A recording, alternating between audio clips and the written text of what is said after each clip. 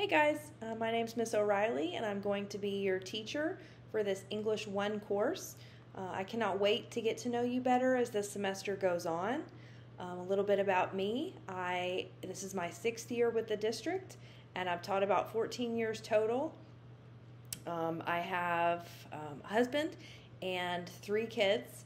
Um, a daughter who is 10. She goes to Hickory Ridge Elementary. Uh, we actually live in Harrisburg. Um, a son who is five. He's a kindergartner at Hickory Ridge. And then I just had a daughter this last year, so um, she is about six months old right now. So I am certainly busy. I have my hands full. Um, I also have two little fur babies, um, a little boy dog who is our COVID puppy. We got him a couple years ago during COVID. And then um, a little girl dog, Mila, who is um, old. She's like 12. So um, she has she has been around um, the block a time or two. Um, for this first assignment, it's just you know me getting to know you better. I've told you a little bit about myself. I would love for you to share a little bit about you so I can get to know you better.